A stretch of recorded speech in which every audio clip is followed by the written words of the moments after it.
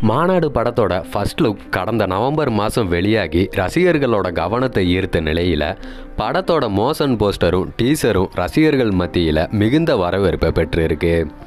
இதையடுத்து மாநாடு படத்தில் இடம்பெற்றிருக்க மெஹர செயலா அப்படிங்கிற பாடலை முதல் பாடலாக படக்குழு வெளியிட்டிருக்காங்க. இந்த பாடல் ரசிகர்கள் மத்தியில் மிகப்பெரிய வரவேற்பை பெற்ற நிலையில் இந்த பாடல் உருவான விதத்தை பற்றியும் படப்பிடிப்பு அனுபவங்களை பற்றியும் இயக்குனர் வெங்கட் பிரபு ட்விட்டர் ஸ்பேஸ் தளத்தின் வழியாக பகிர்ந்துக்கிட்டாரு அதில் வெங்கட் பிரபு என்ன சொல்லியிருக்காருன்னு பார்க்கலாம். சின்ன பசங்களை வச்சு படம் இயக்குன சமயத்தில் யுவன் தான் என்னோட படங்களோட ஹீரோவாக இருந்தார். யுவன் என்னோட படங்களுக்கு தான் பெஸ்ட்டான பாடல்களை தருவார்னு எல்லாருமே சொல்லுவாங்க. ஆனால் அவருக்கு செல்வராகவன் தான் ஃபஸ்ட் அந்த விஷயத்தில் எனக்கும் கொஞ்சம் பொறாமை கூட உண்டு. எப்படி இளையராஜா வைரமுத்து கூட்டணி மிகப்பெரிய புகழ் பெற்றுச்சோ அதே போல் அவங்களோட வாரிசுகளான யுவனையும் மதன் கார்கியையும் என்னோட படம் மூலமாக தான் ஒன்று சேர்க்கணும்னு நினச்சி பிரியாணி படம் மூலமாக அதை சாதித்தேன் இதோ இந்த படத்துலையும் இந்த மெஹர் செயலா பாடலில் அவங்க இணைஞ்சிருப்பதில் சந்தோஷம்தான். மதன் கார்கியோட வார்த்தைகளில் அவரோட தந்தை வைரமுத்துவோட சாயலை விட கவிஞர் வாலியோட சாயல் தான் எனக்கு தெரியுது. ரஜினி சார் நடித்த நூறு வருஷம் இந்த மாப்பிள்ளையும் பொண்ணும் தான் அப்படிங்கிற கல்யாண வீட்டு பாடலை போல் கலகலப்பாக இருக்கணும்னு மதன் கார்கி கிட்ட கேட்டேன். அது போலவே இந்த பாடல் அமைஞ்சிருச்சு.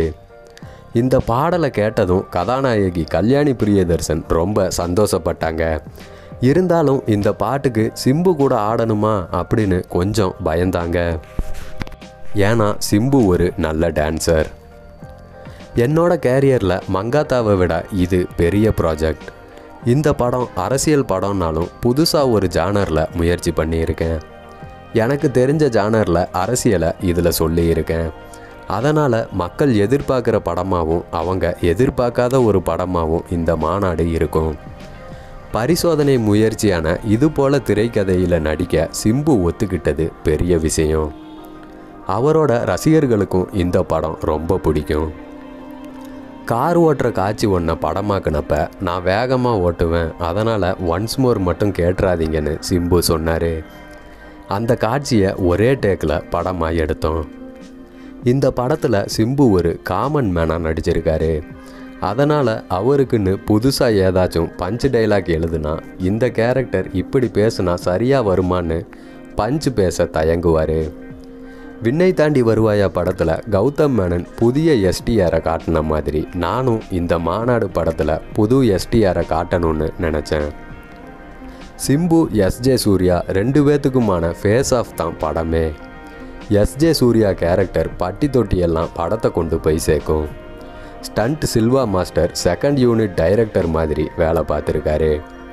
ஒரு காட்சியில் கிட்டத்தட்ட நாலாயிரம் பேரை வச்சு மாநாடு மாதிரி ஒரு காட்சியை படமாக்கணும். இந்த காட்சியோட பிரம்மாண்டத்தை தியேட்டர் ஸ்க்ரீனில் பார்த்தா தான் நல்லாயிருக்கும் சிம்புவே படத்தை பார்த்துட்டு படம் புரியாதுப்பான்னு சொல்லிட்டாரு. அந்த வகையில் மாநாடு தியேட்டருக்கான படம் அப்படின்னு சொல்லியிருக்காரு வெங்கட் பிரபு.